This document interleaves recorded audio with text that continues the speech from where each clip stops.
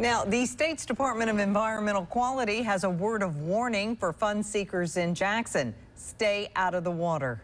The agency issued a water quality advisory for 11 Jackson creeks and areas of the Pearl River near the city's Savanna wastewater treatment plant in South Jackson. DEQ says people should avoid swimming, fishing, and other recreational activities in those waterways.